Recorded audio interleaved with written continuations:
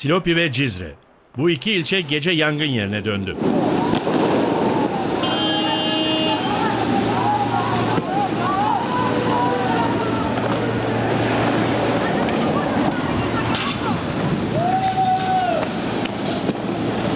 PKK'lılar yol kesti, okul yaktı, polisle çatıştı.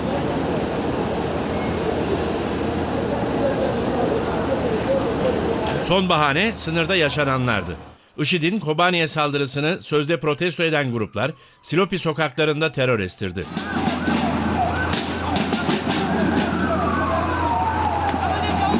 Barbaros, Yeşiltepe ve Cudi mahallelerinde toplanan PKK'lı eylemciler Habur yoluna barikat kurdu. Lastikler ateşe verildi, araçlar ilerleyemedi.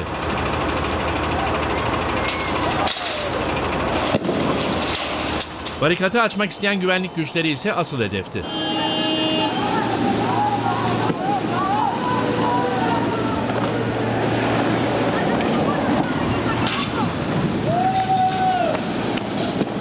Polislerin üzerine molotoflar, taş ve havai fişekler yağmur gibi yağdı.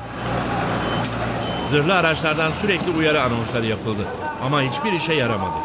Teröristler basınçlı su ve gaz bombalarıyla dağıtıldı. Yol trafiğe açıldı. Bu defa teröristler şoförlerin yüzüne lazer tutarak geçişleri engelledi.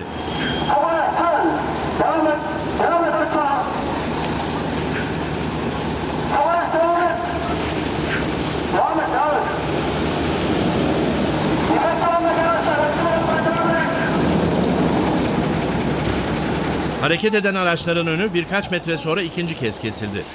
Teröristler bu defa kimlik kontrolü yaptı. Tırları durduran PKK'lı grup daha sonra araçlarda sözde kaçak mal aradı.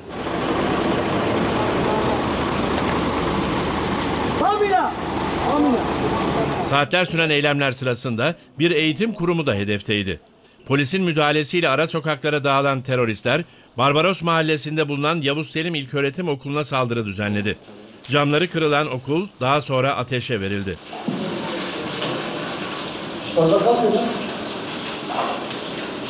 Cizre'de de manzara Silopi'den farklı değildi.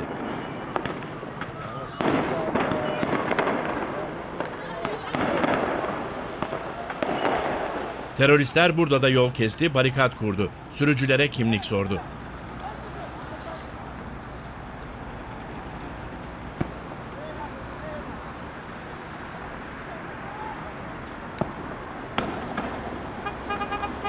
Çok geçmeden eyleme polis müdahalesi geldi. Havai fişekler ve molotoflar ardı ardına patladı.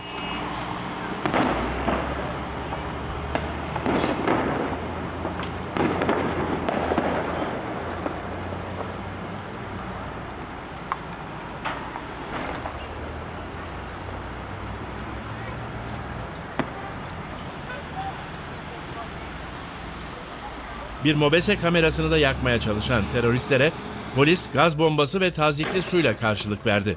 Teröristlerin eylemi gece geç saatlere kadar sürdü.